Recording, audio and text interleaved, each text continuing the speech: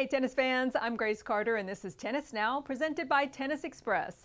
Tennis Express, order today, and it ships today.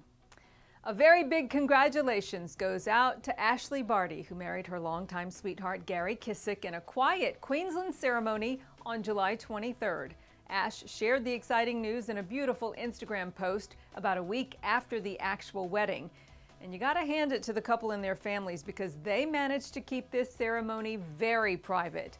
But look at this beautiful picture of the couple walking hand in hand across a bridge.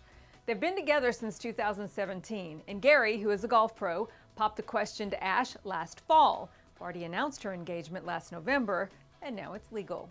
2022 has been a life changing year for Barty. In January, she became the first Aussie, man or woman, to capture the AO Singles Championship since Chris O'Neil in 1978. Then, in a move that shocked the entire sports world, Ash walked away from tennis, joining Justine Henin as only the second woman in WTA history to retire as a world number one. In a farewell press conference, Barty said simply, she was spent.